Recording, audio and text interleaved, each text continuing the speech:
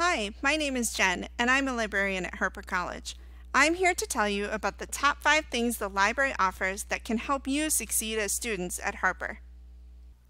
Number one, help from a librarian. The most important thing the library offers is help from librarians and other library staff. You can get help with all stages of the research process, like picking out a topic, coming up with an effective search strategy, evaluating the sources you find, and citing everything in the end. You can find all our help options under the Ask a Librarian area of the library homepage, including our live online chat, voicemail, and email. We even offer individual research appointments, which are 25-minute online appointments with a librarian at a time that's convenient for you.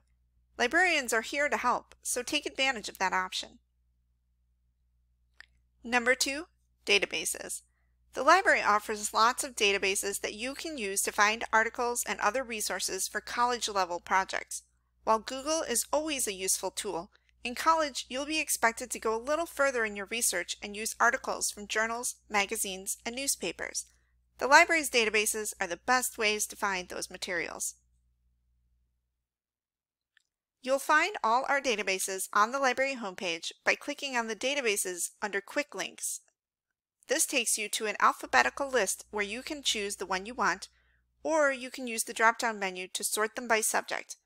All you need to access these tools from off-campus is your regular MyHarper username and password. Number three, research guides. If you don't even know where to begin, a research guide might help. Research guides are web pages created by librarians to share the most important resources and search tips for specific disciplines. You can find guides about art, nursing, history, chemistry, and much more. To see a list of all of our guides, start on the library homepage and hover over the word Research. Then select Research Guides. Click on any of the titles to see the full guide. Number 4. Books. Sometimes books are a great source for your research, and the Harper College Library is the best place to find the kind of academic books you might need in college. We do also have plenty of fun books too, like graphic novels, young adult novels, and a collection of popular bestsellers. Right now, you can get print books from our curbside pickup service. Use the catalog search option on the library homepage to search for your book. Then, if you're logged in, select the title and use the request option. If you don't want print books though, the library has a growing ebook collection that you can use online at any time. Find ebooks in the library catalog by limiting your search to items available online. Number 5. Relax and Connect. The library offers ways to relax and connect too. Every year we offer programs in person, but right now we're offering everything online. We have things like book groups, a traveler series, guest speakers, and more.